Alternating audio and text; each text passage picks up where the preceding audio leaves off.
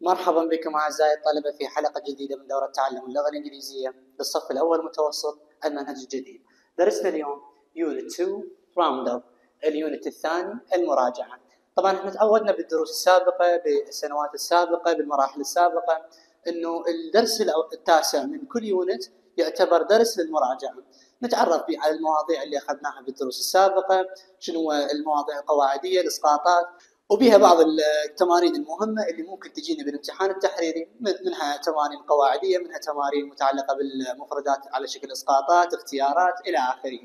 بالبدايه يراجع لي المواضيع السابقة شو يقول لي؟ يقول لي now you can do these things والآن يمكنك عمل هذه الأشياء. اذا الأشياء اللي تعلمتها من خلال هذا اليونت هي كالتالي. اولا say what happens in the future هو أن تقول ماذا حصل أو ماذا سوف يحصل في المستقبل. آه، تعرفنا بالدروس السابقة على قاعدة المستقبل إذا تتذكروها وهي عبارة عن فاعل زائدا و زائدا فعل مجرد. شرحناها بشكل مفصل بالدروس السابقة. إذا تحبون تشوفون الشرح المفصل لموضوع المستقبل تقدرون تراجعون الشرح المفصل للمواضيع ناشرهم مع الدروس السابقة. آه شو يقول لي هنا منطيني أمثلة يقول لي tomorrow morning يوم غد صباحا it will be cold and windy. سوف يكون الطقس سوف يكون الطقس بارد وعاصف. It هي الفاعل وزائدا فعل مجرد مثل ما وضحنا مثل ما وضحنا القاعدة. It will be sunny in the afternoon. سوف يكون الطقس مشمس في المساء. The temperature will be 14 degrees. درجة الحرارة راح تكون درجة الحرارة 14 درجة مئوية. I'll be 14 in my next birthday. سوف يكون عمري 14 سنة أو 14 عام في عيد ميلادي القادم وهكذا. I won't be at school tomorrow morning. سوف لن أكون في المدرسة صباح يوم غد باعتبارها ما عطلة أو راح يأخذ إجازة. إذا هذه عبارة عن الموضوع الأول أخذناه اللي هو المستقبل البسيط وراها النقطة الثانية أو الموضوع الثاني اللي أخذناه من خلال هذا اليونت say and write the date. هو قول وكتابة التاريخ اللي شرحناها بالدروس السابقة. ووضحنا أنه مثلا إذا اليوم مثلا على سبيل المثال اليوم 21 بالشهر آه بشهر 12 إذا أريد أعبر عن هذا التاريخ أقول 21st ال ST هي مختصر مال first شهر 12 يا شهر شهر ديسمبر شنو اختصار December؟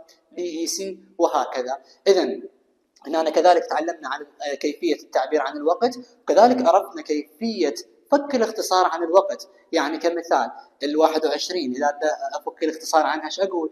أقول 20 first الحادي والعشرون of ديسمبر الحادي والعشرون من شهر ديسمبر اللي هو شهر 12 اذا تعرفنا كذلك على كيفية قول الوقت والكتابة الوقت اللي هي إذا تتذكرون الموضوع اسمه الأعداد الترتيبية كذلك إذا تقدرون تشوفون الشرح المفصل مالت القناه ناشرين وراها talk about the seasons in England التحدث عن الفصول في إنجلترا. وطبعا شوف هنا يوضح لي ان الفصول في إنجلترا مو بالعراق. يعني أكثر المعلومات اللي أخذناها عن الفصول عن الطقس كانت المعلومات متعلقة بإنجلترا مو بالعراق. فعندنا أربع فصول اللي هن ال spring الربيع ال autumn الخريف السمر الصيف وال winter اللي هو الشتاء.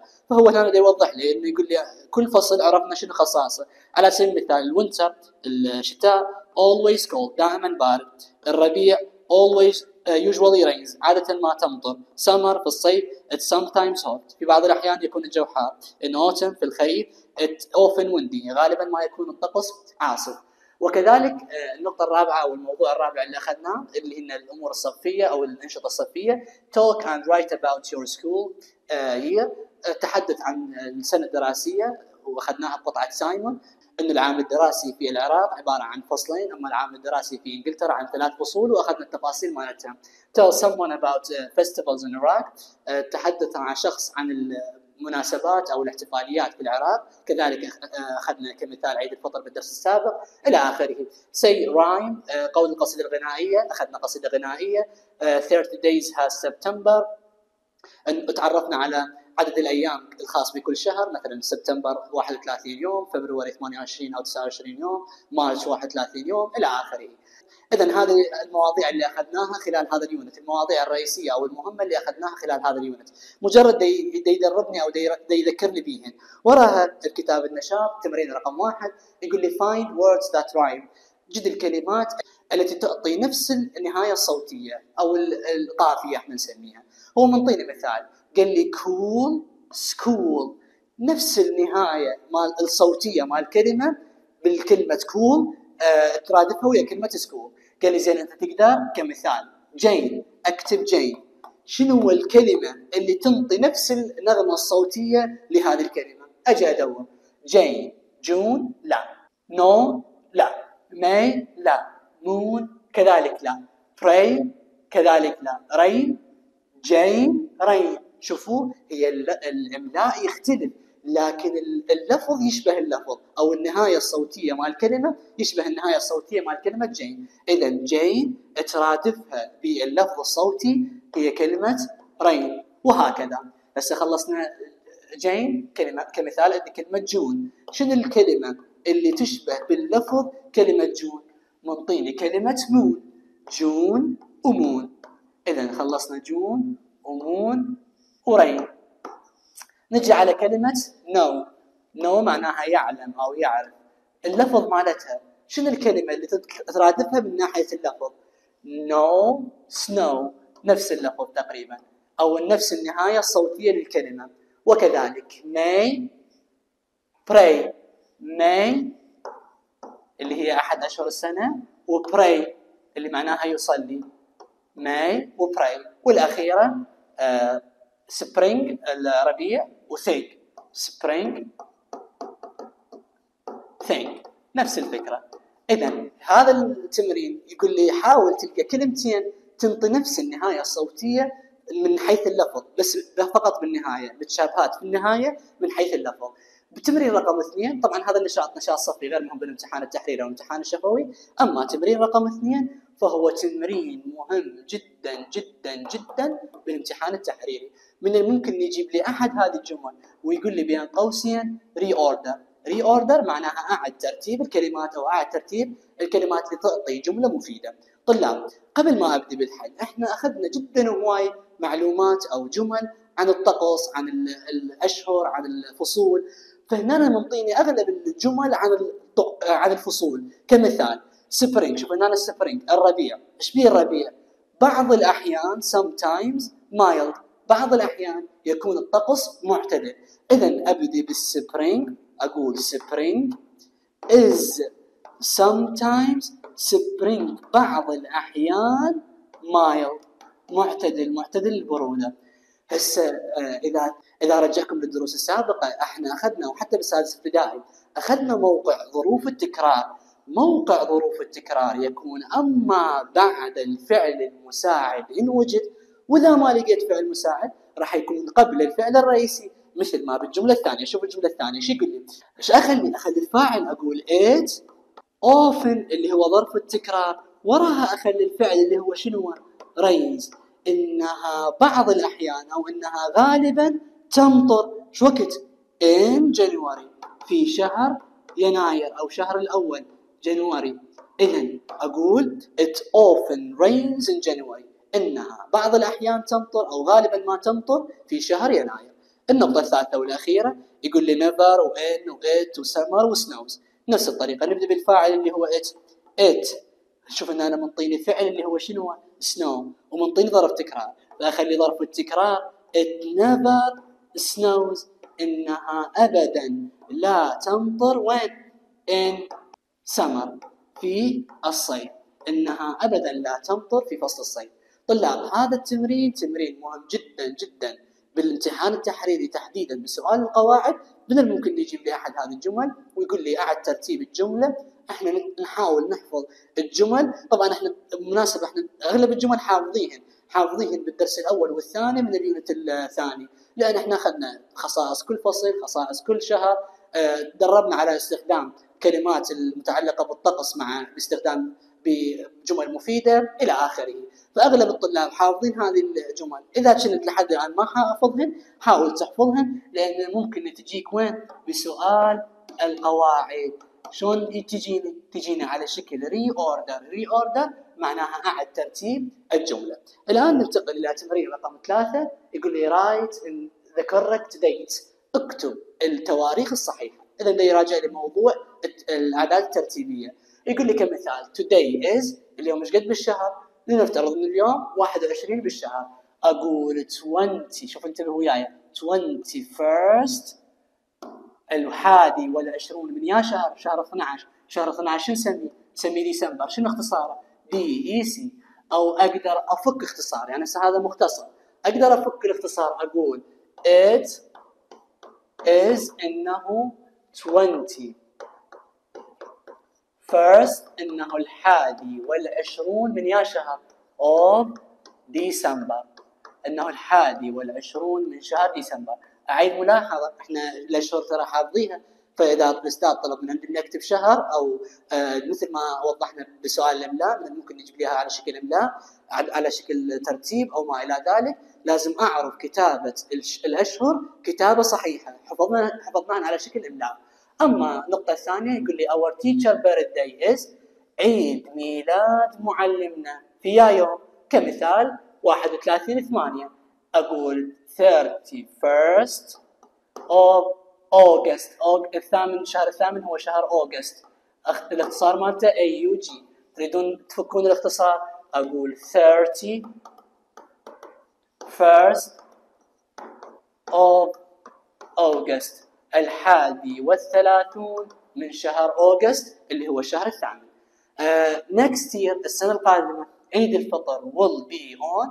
عيد الفطر سوف يكون في هم هنا تعطي التاريخ مال عيد الفطر. فكمثال حسبت عيد الفطر وطلع كمثال آه، في الشهر الرابع. 15 4 كمثال إذا أقول له 15th of April الشهر الرابع هو شهر April. أختصره. أو أفك الاختصار أقول له 15 of April. في الخامس عشر من شهر April. هذا ما يخص التمرين رقم ثلاثة هذا مجرد نشاط صفي. غير مهم بالامتحان التحريري أو الامتحان الشفوي. مجرد يراجع لي التواريخ اللي اخذناها مع موضوع الأعداد الترتيبية. وعرفنا شلون نعبر عن التواريخ باستخدام الأعداد الترتيبية. تمرين رقم أربعة تمرين مهم جدا جدا جدا بالامتحان التحريري. هو سؤال مفردات. شنو يعني سؤال مفردات؟ يعني من ممكن يجيني مثل ما هو على شكل اختيارات أو كيف الأستاذ يجيبه على شكل إسقاطات. يعني ما يعطيني على شكل اختيارات وإنما أنا أريد أخليك إياه على شكل إسقاطات. كمثال عيد الفطر. عيد الفطر often لو always غالبا لو دائما starts after رمضان يبدأ بعد رمضان. طبعا إحنا عيد الفطر نعرف إنه دائما بعد ما ينتهي رمضان مباشرة يجي مباشرة وراء عيد الفطر. دائما. ماكو شيء اسمه بعض الأحيان. ليش أستاذ؟ يعني هو ما في يوم إحنا إجانا عيد الفطر قبل رمضان كمثال. هو دائما موعد عيد الفطر بعد رمضان مباشرة. هذا الشيء قانون ثابت. ورانا تمرين رقم آه نقطة رقم اثنين أو نقطة بي there are two لو three terms. هنالك فصلين لو ثلاث فصول in the school year in England. شوف هنا انتبه وياي في إنجلترا كم فصل؟ ذكرنا سابقا إنه في إنجلترا ثلاث فصول. لكن انتبه لنفترض إن الأستاذ شال كلمة إنجلترا وخلي خلاني بدالها العراق بالعراق كم فصل دراسي؟ لازم تقول له هنا 2 فهنا العراق يحمل فصلين دراسيين وبالإنجلترا ثلاث فصول دراسية. أما النقطه الثالثه فبراير is the shortest لو longest month. شهر فبراير هو أقصر لو أطول شهر. ركز لي هالمره يقول لي أقصر شهر لو أطول شهر من حيث شنو؟ من حيث عدد الأيام. ذكرنا سابقا إنه أقصر شهر اللي هو 28 أو 29 يوم حسب إذا كانت السنة كبيسة. إذا كانت السنة كبيسة 29 وإذا كانت السنة عادية 28 اذا هو أقصر الشهور باقي الشهور كلهن. آه، أما 30 أو 31 يوم. وراها يقول لي Iraqi armed force day عيد الجيش. ال 6 لو 16 of January في السادس من يناير لو في السادس عشر من يناير. هذه معلومة خارجية حاول تحفظها.